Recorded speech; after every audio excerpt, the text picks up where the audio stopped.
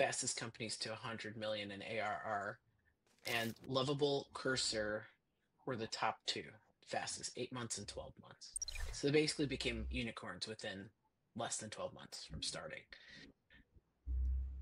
What are they replacing, if anything? So I would tell a story about that. This is going to date me slightly, but I would, for my whole career, I'd be using Emacs, and then say, okay, is there an IDE that can beat that? Go to Eclipse. Nope, back to Emacs. Always end up back at Emacs. Cursor was the first product through my entire career since programming as a nerdy 14 year old kid. So I appreciate the value that they're adding. That was a lot of personal inertia that they were able to overcome for me in terms of productivity. You said 10 months to 100 million? Lovable it was eight. For Cursor, it was 12. Wow.